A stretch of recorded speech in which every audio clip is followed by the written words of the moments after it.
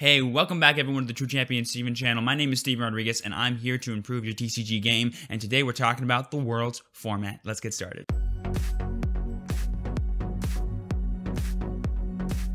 As many of you know, uh, Worlds is actually going to be the actual post rotation. Um, so a lot of tournaments after Worlds are going to be Worlds format quote unquote. So, uh, the top 10 decks that I'm going to be talking about here today and the deck lists that I provide are going to be very useful for upcoming League Cups, League Challenges, as well as even possible regional championships. So, definitely make sure that you're paying attention to this video. And if you guys are new here, I do all kinds of deck profiles, meta discussions, just general TCG knowledge and tips. Uh, so, if you want to improve your TCG game and become your very own true champion, then why not hit that like button, subscribe to the channel, and click that bell for notifications so that you guys know when my videos go live for you. And now, with all that being said, let's go ahead and get started with my top 10 decks for the Pokemon World Championships. All right, everyone. Here we are in PTCGO, and we're going to be get started with deck number 10. But if you're unfamiliar with how I do the top 10 series here on this channel, what it is is instead of me just giving my opinion about like what I think the best deck is in this format, it's actually a representation of what I think is the most popular and the most powerful decks in the format. So what separates number one from say number 10 isn't necessarily, oh, number one's eh, objectively better than number 10. No, no.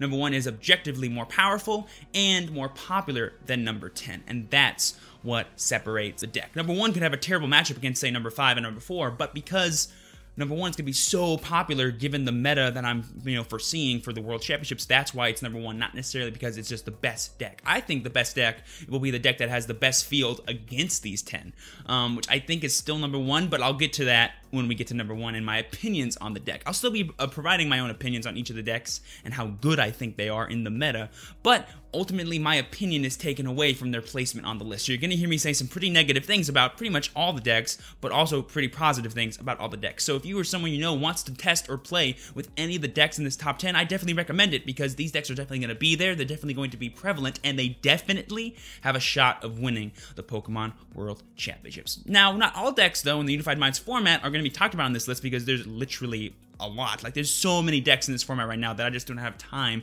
to cover all of them for you. But if you or someone you know wants to play Moss March, wants to play Fossils, wants to play Beheeyem, wants to play Slowpoke, wants to play Quad Keldeo, you are more than welcome to do so. If you do though, I recommend testing against these 10 decks I'm going to show you uh, today. And if you have a good matchup against all of them and you have a confident way within the cards in your list to beat them, by all means go right ahead and play them at your next league challenge or your next league cup or even the Pokemon World Championships if you're attending. If you have any questions for me about any of the decks that I talk about, don't be afraid to leave them down in the comments below or hop into my Twitch channel where I go live every Tuesday, Thursday, and Friday afternoon Pacific Standard Time, sometimes on the weekends, and I play a lot of Pokemon TCG online. So don't be afraid to come hang out with me. Links are in the description below. I honestly would just love to see you in there, but I also really love answering questions, and I really love playing this game. So, without further ado, let's go ahead and get started with deck number 10. Alright everyone, here we are with deck number 10. It's going to be Aegislash. Yes, Aegislash. This deck is a little niche. Um, it's not going to be nearly as popular as many other decks that you're going to see on this top 10 list, but I think it is powerful enough to warrant being on this top 10.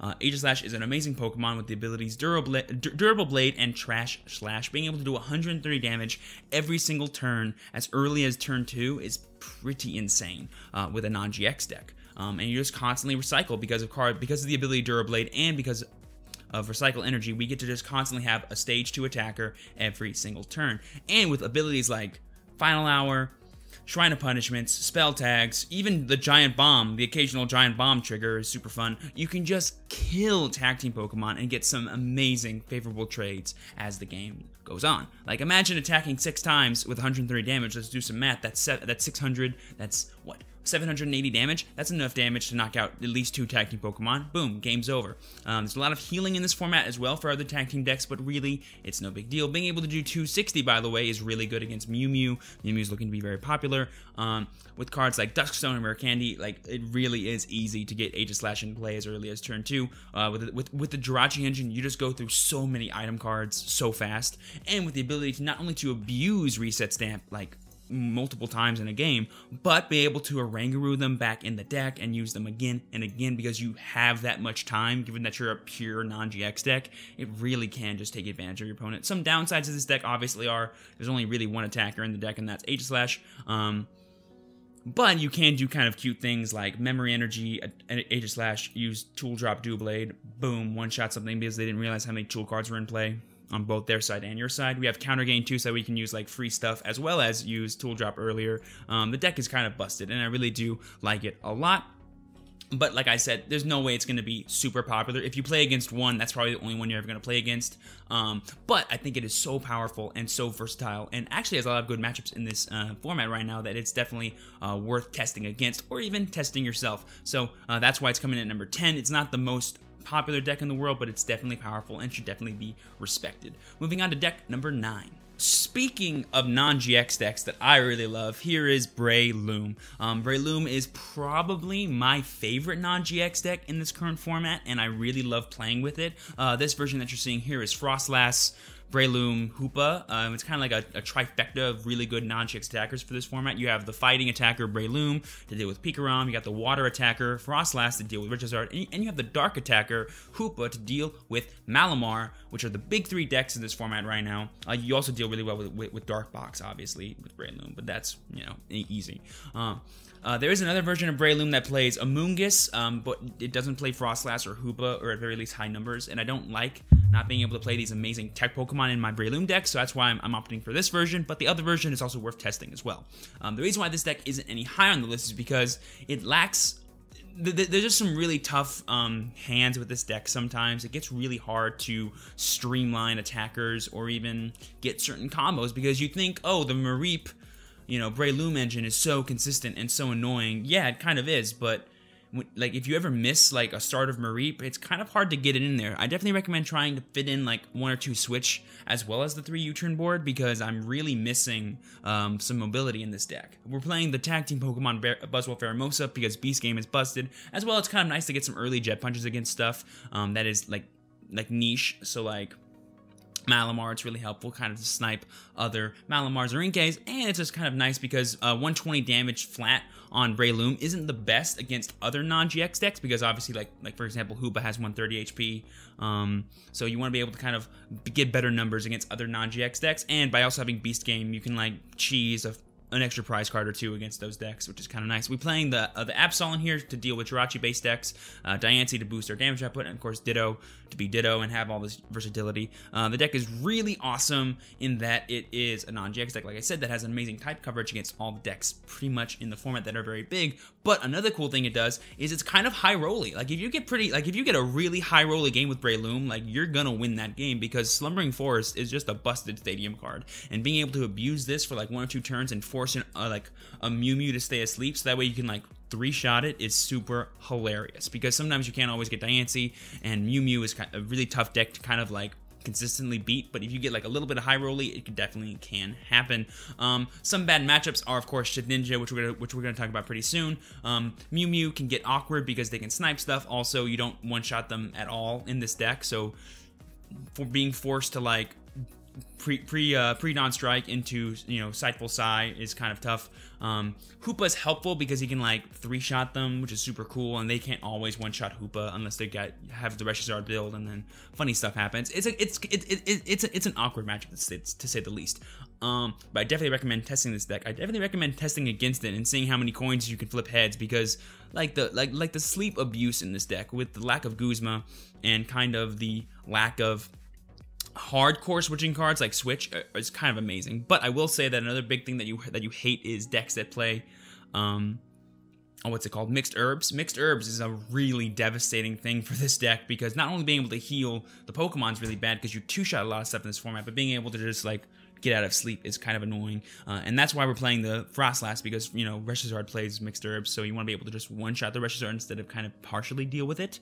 Um, but I will say this deck is super fun, really good. Um, you might want to think about playing a Mew, uh, a bench Mew, because Pikarom isn't as free as you would think it is because sometimes they play a copy of Mew Mew, which if they do, it's kind of tough to get around a Tag Bolt turn because um, you don't play any custom catchers. So like you their like Pikarom always just sits on the bench or in the discard pile, and they use Mew Mew, and they can use Tag Bolt GX, which is actually a pretty devastating attack for this deck because they can get rid of your whole entire combo in one turn, which if they do is really bad. So definitely consider playing a bench barrier Mew to help the ma- Pikarom matchup just a little bit more. But other than that, I think it's really fun. I actually think it's pretty consistent and despite like what other people say and i definitely recommend playing it. It's a really awesome deck. The reason why it's not any higher is because it's not really doing anything outright powerful. Like if like if a big time water deck comes out for example, like Blastoise or God forbid, Psyduck Slowpoke. Like if those decks come and you play against them, you kind of like don't really have an answer outside of trying trying to set up a, Buzz, a Buzzwole Pheromosa, which isn't the best idea. So like really niche things it has trouble with, but like the actual meta as a whole, if we're like predicting the meta to be like Reshizard, Blacephalons, Pikaroms, uh, Dark Box, and like Malamar, then you're gonna do great. Um, and, and that's why this deck is super powerful. Moving on to uh, deck number eight.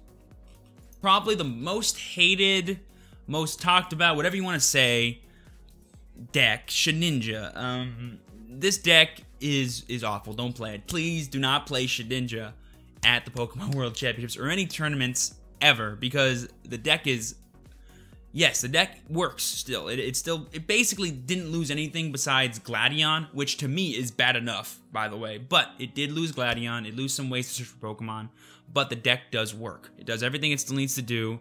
You got your annoying Shedinja or Oranguru loop package. You got your Persians to discard your opponent's hand if they're trying to just stockpile cards in their hand. You got your Hapus to make yourself super consistent. You got your Fire, Recycle Energies. Recycle Energies is actually a really big inclusion to this deck because it means you don't need to play as many energies anymore, and you can just constantly recycle your energies with Oranguru. You got Brock's Grit so that way you can constantly recycle Shedinjas, all fun stuff like that. You play Champions Festival, so that way you get you can get around things like Spell Tag, and just like niche damage here and there. Deck does work, deck is kind of really good, but it is impossible to win a, a, a, three series with this deck if you ever lose game one. If you just get slightly unlucky and prize, I don't know, prize your Mars, prize your like like, like prizing two Shedinjas is really bad. Um, prizing uh your Meowth and your Ditto, prizing like you like you can just like awkward things prized, which is just not fun. Um, but the deck does work, and the deck does win, which is annoying. But a lot of people are expecting this deck. If any deck plays counter custom catchers and plays a Oranguru, you're kind of like going to lose. Um, also, it can just kind of like reset stamp both helps it and hurts it. We're not playing reset stamp in this list right now. You could easily play reset stamp. I don't think you should, but you can um, because your idea is like it doesn't matter if they have like a broken cards in their hand. If they're at one prize card left, they shouldn't be able to take a prize card anyway, so it doesn't matter. You know, it's stuff like that. But whatever.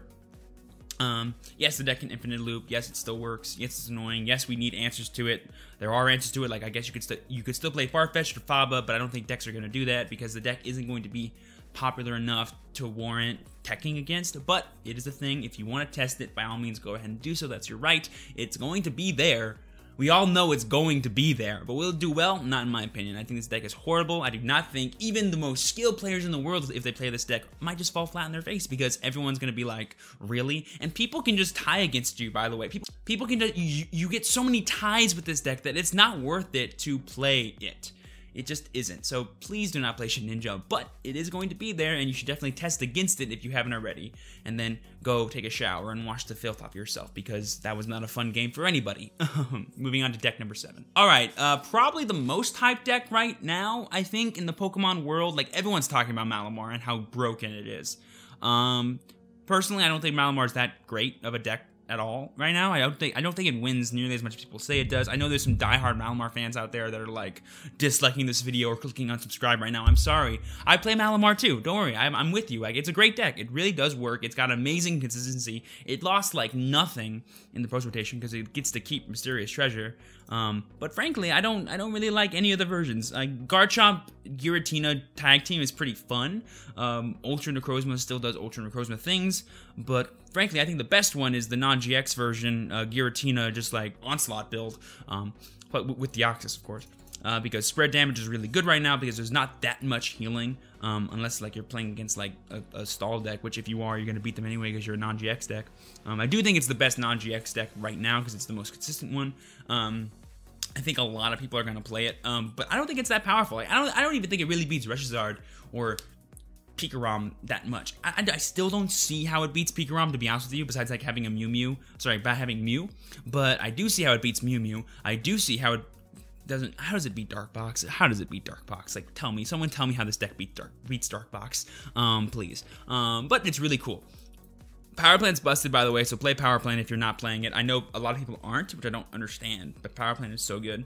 It really helps against Pikarom as well, which is just awesome. Um, but yeah, the deck is just super consistent. This is a really consistent spell tag list. I definitely recommend playing it and testing with it if you haven't already. It's going to be there's going to be so many Malamars at events within the next like coming months that if you're not testing against Malamar or you have no idea how this matchup goes for whatever deck you're playing, I definitely recommend that you do it. Throw some custom catchers in there, chase Malamars all day, and have a, a grand old time. Um, be careful when you play Viridian Forest on your side. Don't just give them free Viridian Forest. Make it make them work for it, and uh, make sure you count how much damage counters are left on, left on your opponent's board because um, this does sneak up on people. Uh, this cross division GX deck, it sneaks up on people. It's pretty, it's pretty devastating actually to uh, like kill four things with uh, this Pokemon. It's pretty dumb.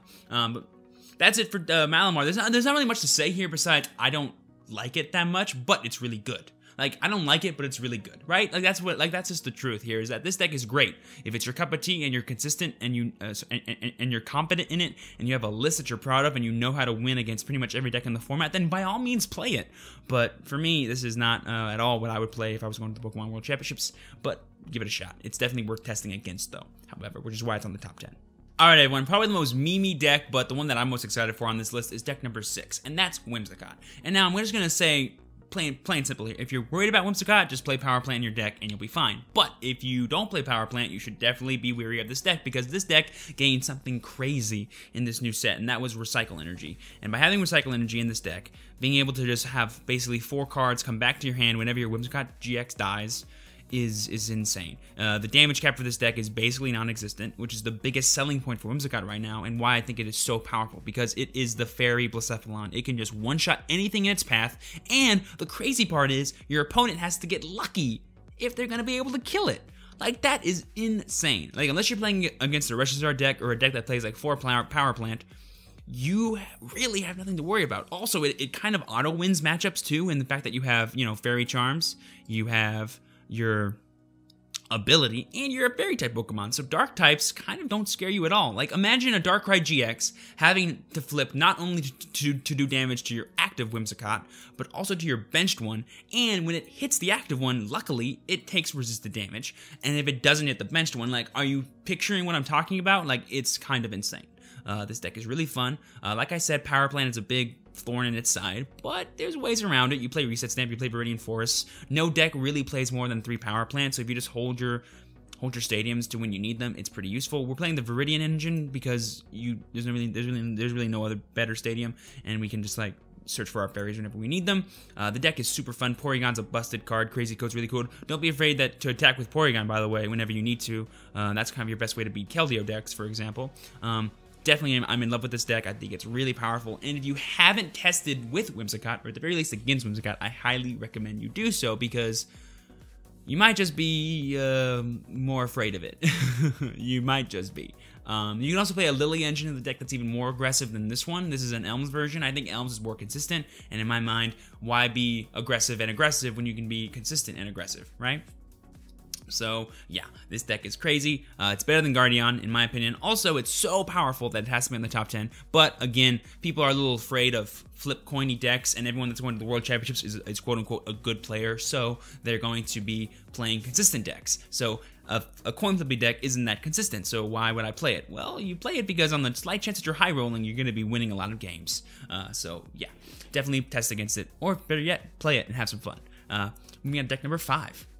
All right, moving on to probably the most hype deck in the Unified Minds set itself, we've got Mew Mew Box. Uh, this deck is pretty insane. It has the most versatile set of Pokemon and set of attackers that is just insane. There's so many other attackers you could play. You could play Altaria GX, like a Mina engine build, and just be an invincible monster. Uh, you could play, I think, I think there was like a funny version, like a tank version of Mew Mew, and you played like Greninja GX, and you would like what, whatever Greninja GX's attack is. Not not this one, the other Greninja GX, the one from the set, and you would like shuffle them back in, and then he would heal all the damage. It's kind of crazy, and like you would send up like other Pokemon that like are pretty resisted, like Safeguarders, like maybe Keldeo or something.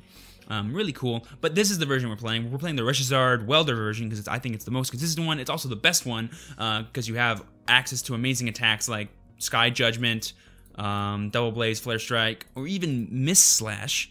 Um, Mist is amazing because it's a um, shred attack that does 130, and sometimes you can use Greninja GX to actually draw cards. So shout out to Greninja GX here. I forgot this Pokemon card even existed. Um, but, but, we also play the staples, you know, Jirachi GX. We play our Dedenne so we can discard a Pokemon. We play our three Mew Mew.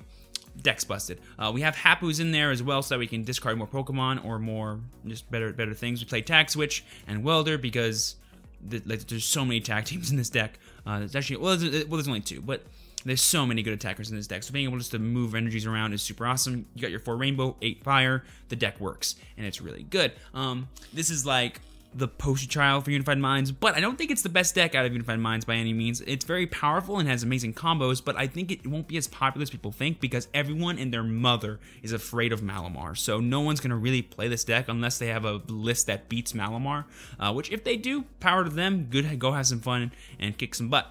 Um, but if they don't have a list that beats Malamar, I have no idea how this deck beats Malamar, um, which is why it's going to be not popular, which is then why it's lower on the list and not number one.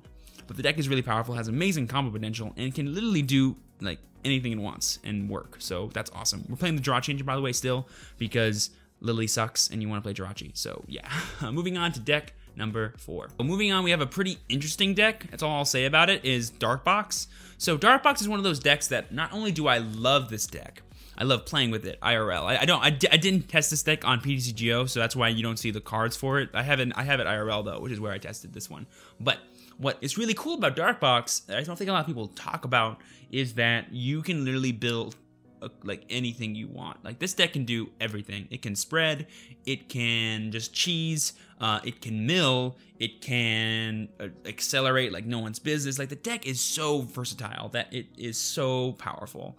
Um, and it's so and it's, and it's, gonna be really popular because people love their dark Pokemon, especially when they can play a lot of dark Pokemon. Um, the list I'm playing currently is kind of your standard dark box, but I'm playing like a really uber consistent version where I play like Fan Club and a bunch of draw supporters, even Copycat. Yes, Copycat's really good this format. If you haven't tried it, test it out and you'll see what I'm talking about. Uh, we're playing the acceleration of Rayquaza GX as well as Nag- Naganadel, plus Darkrai Prism Star, busted, busted card. Um, Abyssal Sleep, by the way, super busted as well. Th- th- this is the reason why I'm not playing uh, non-GX Hoopa, uh, because you don't need to, but if you wanted to, you could play Evil Admonition Hoopa as like another non-GX attacker if you're afraid of Keldeo GX, but I'm not afraid of Keldeo GX, so we're playing this, and just this. I'm playing Greninja Zoroark, so you can one-shot stuff, because people, for some reason, think you can't one-shot stuff. I'm playing Hoopa GX, because Rogue Ring is busted. Also, Devilish Hands GX is probably it's my third favorite GX attack of this deck, but it's really good and definitely recommend using it. Dark Strike is really helpful as well. Uh, we got Sableye Tyranitar because busted. Uh, we got a 3-2 Sneasel, Weavile. This is the best Sneasel. Play this one. Don't play any, any, other one or else you're stupid. And of course, we got two Umbreon Darkrai, the, probably the best card in this deck, uh, to say the least. We got four Super Scoop Up. I love playing this card again. Um, because it like like like this deck reminds me of old school Aromatisse um, from XY, which is the first deck that I started playing when I ever played this game. So it's it's really nice, and plus it's, it's, it's with my favorite type in this game, which is Dark. So yeah, um, we have a bunch of search cards: Cherish Ball, Mysterious Treasure, Pokecom. I'm overly explaining this one because this is like a newer newer deck and a deck that I put a lot of testing in, and it's just crazy. Another fun thing you can play, and I'll mention it just because it's so busted. I haven't really put that much testing into it, but none of people know that you can do this. Um, oh, do I not? I I, I, have, I have some on here, right? I should have Incineroar. Yeah, I don't. Okay, cool. So you can play a Incineroar GX, and you can put it into play with Dark Union GX, which is busted because you can add any Dark Pokemon. It doesn't have to be a GX. Uh, doesn't have to be a, a basic Pokemon. So you can put this into play using Dark Union, and that's busted. So being able to do that and get three Dark Energies every single turn, you immediately just turn on your entire deck, or you also play a heavier version of Greninja Zoroark, and then you just blow up stuff, which is super fun. So definitely recommend trying that out. Um, it's pretty fun and high rolly, and I like that. but this deck is really powerful. My biggest problem with it, though, is that look at all these Pokemon we play. We play a bunch of one ofs. We play a lot of stuff that's all over the place. So it has a tendency to get kind of clunky in the hand. Um, and if you miss like your heads on scoop ups, like you can just get behind the prize trade pretty early, which is pretty bad. Um, also, it's hard to beat decks that you can't one shot, which is why you kind of have to play Greninja Zoroark. And if you ever prize your Greninja Zoroark against like Reshizard or Pikarom, you don't have the best time it's not like that easy to beat them uh, if you prize your Greninja Zoroark. So definitely be wary. Like there's some awkward prizing things that can happen. You play a lot of one ofs, so you need to really know your deck. Um, and that's why I think a lot of players are going to be afraid to play this deck within the first couple weeks because there's no like perfect list yet. No one's ever made the best 60. There's a bunch of different ways you can play it. There's custom catcher builds. There's really aggressive like quad. I think I've seen quad Rayquaza or something like that. Something something stupid like that. Uh, there's Sharpedo builds. Don't play that though. Naganadel's better. Um, but yeah, this deck is crazy. Uh, there's so many ways to play it, which I think kind of deters from its popularity, which is why it's lower on the list than say any of the other ones. But it's really powerful and that has a lot of options, and options equals you know uh, game strategy, and game strategy equals equals winning, and winning is nice. So moving on to deck number three. All right, here we are with deck number three, Reshieblounds. Uh, this deck, I believe, was created by Peter Kika, but uh, I think it kind of existed before that as well. But whatever. Uh, Blacephalon uh, is going to be a deck. Either it's this version or it's the Naganadel version, uh, also with Persian. Um, I think this one is better, though, which is why I'm going to be showing you guys this one instead of the other one. I think this deck is super powerful. Blacephalon is still doing Blacephalon things in this format. You have Welder, you still have Beast Ring, you have Persian, and you have Green's Exploration. Like, this deck just gets super nuts. Um, and also being a pure GX deck is kind of nice. It's also kind of not nice because while Blacephalon doesn't really have an answer to non-GX stuff like you know, Malamar and Breloom, this one kind of does in the fact that it plays Reshizard because you can kind of just like, after like, say they knock out two Blacephalon GX, you just camp a, Re- a Reshizard in there and take three knockouts in a row, you kind of just win the game, which is great. And that's what the value of Reshizard is in this deck. It, it, it adds an attacker that you don't need to constantly keep setting up every single turn, which is what Blacephalon is. So it lets you not only mitigate your resources and keep better track of them, it also just kind of serves as a big old tank in the deck that you can play either early or late. Uh, I like playing it late. And having the 2-1 Persian is just busted, so that's nice as well. So this deck is super consistent. Blounce has been uber popular ever since it first came out in Lost Thunder, and it's gonna get even more popular because it, there's so many tag team decks in this format right now, whether it's Reshizard, whether it's Pikarom, whether it's Mew Mew, that Blacephalon has a lot of value right now and a lot of popularity. So not only is this deck super powerful, but it's also really popular, and that's why it's super high on the list. But it's such a known thing, and it really does fear Malamar that I feel like a lot of players are going to be afraid to really commit to it, which is again why it's slightly less than number one. However, if Malamar wasn't a deck this format, this would probably be my number one pick um, for Worlds, no questions asked. Um, but a lot being said, moving on to deck number two. All right, you guys knew I was going to talk about it. I knew I was going to talk about it. We knew it was going to be a deck. Welcome to Pikarom. Um, if uh, you're gonna notice a trend here within the top like three or four, three three decks really, in that the best three decks are the most known ones, or should I say the ones that lost the least from post rotation. Um, not only is Pikarom a known deck in that it was it existed and did super well last format, it's also a deck that lost so little from the rotation. Like I, what, what did it lose? It lost Ultra Ball, Nest Ball, and I mean, beside Choice Band, um, escape rope. I think that's pretty much it. like everything else it still has, which is just insane. And the deck is still super versatile, has amazing, amazing combos, and is just busted. Uh, this list that I'm showing you here isn't like a cut and dry list. I think it's actually a little bit obscure because I'm playing, you know, the Mew Mew. I'm still playing the 220 Aurora. I couldn't find my second one on here for some reason, so whatever. And yeah, it's pretty busted. Uh, I really like it. Uh, the inclusion of Raichu Raichu as like a big, big knockout, or just having Tandem Shock be busted because Guzma, Guzma no longer exists is super fun. Um, I think Great Potions are valid in this deck, and I could definitely see people trying to add some. Like you could cut like an Acro Bike, you could cut Red's Challenge for like two Great Potion, definitely worth it in my opinion. So definitely try testing that as well. Uh, three Dedenne is just busted. Uh, Zapdos and Koko are really great non-GX attackers, as well as just really good engines in the deck. Uh, the deck is uber aggressive, really consistent probably the most consistent deck out of all of them on this list, and it's going to be at the Pokemon World Championships. Hell, it might even win the Pokemon World Championships, and that's why it's number two. The deck is still super powerful. Tag Bolt is busted. Um, now having access to Mew Mew as an alternate tag team Pokemon uh, sorry, Tag Bolt Pokemon as well as Tandem Shock, and kind of just like another attacker with another typing is crazy. Like we have Psychic typing now in this deck. Being able to to tag being being able to uh, full blitz an opposing Mew Mew with your own Mew Mew is busted. So definitely keep that in mind. And then going into a three uh, electro power tag bolt to win the game against Mew Mew is pretty busted. So definitely recommend playing that. I am playing one Oranguru in here because, like I said, Oranguru is a busted tech in this format and should be played in almost any deck that has the room for it. But in this deck partic in particular, it's super busted because imagine like I don't know, being a, a, little aggressive and like using instead of using full blitz, you use tag bolt and like triple E power to knock out a Reshizard, and then you have no tagging Pokemon in play.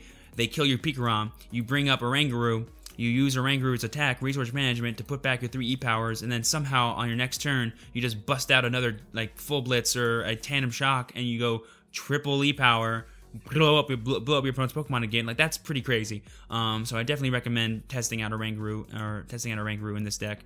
Definitely adds a lot of value to it for sure. And this deck is super powerful and it's, and it's going to be super popular. So definitely test against it if you haven't already. And now with all that being said, moving on to my number one deck for the Pokemon World Championships. You've heard me say it once. You've heard me say it time and time again. Green's Reshizard is the best way to play Reshizard, and that's why it's number one. This deck is crazy. The best thing that that Green especially has going for it right now is the tech ability. You can play so many things in this deck right now, and it still works. You play Healing out the Wazoo with Great Potion and Mixed Herbs. You play so many Stadium cards in Power Plant, Giant Hearth, Heat Factory, and Shrine of Punishments. Shout out to Rahul Reddy, by the way, for showing me that you can play this card in this deck and use it against Pikaroms. That way you can one-shot Pikaroms, and they have no idea you could one-shot Pikaroms. Super, super busted. Uh, Volcanion's a busted card. Being able to play a Oranguru as well, so you can reuse your custom catchers or your crystals or your mixed herbs is insane.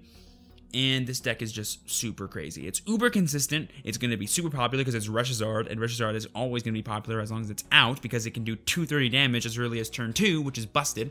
And, of course, it is the most powerful version of any deck right now because, like I said, it can heal, it can one-shot, and, of course, it sets up like no one's business. Like like if you go second, you don't even need a greens or a welder. Like if you go second and start Volcanion, all you need is a fire energy and a cherish ball, and the deck is is working. Like it's doing everything it needs to do. Um, I will say that there are some consistency consistency issues if you don't start a greens and you say you're going first. That could be pretty sucky. But I've tested enough hands to know that three, uh, or should I say four, four, four of all the cards you need is enough. Like it, it it'll work. It'll work for you in like a nine round tournament of any kind, even if it's the World Championships. I think this deck is super cool. Has amazing matchups against the field. It can win against any deck. Um, it can even play techie things like Surge to, to try and have a comeback factor. You can like cut the choice helmets and like play like more power plants or even more cherish balls to make yourself more consistent.